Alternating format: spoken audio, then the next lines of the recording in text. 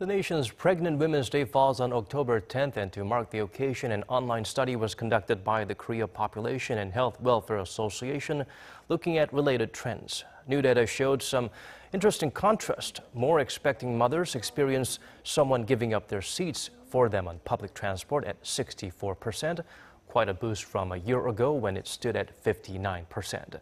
But when it comes to adjusting working hours, a shocking 11%, in other words, only 1 in 10 Korean women were able to do so during pregnancy.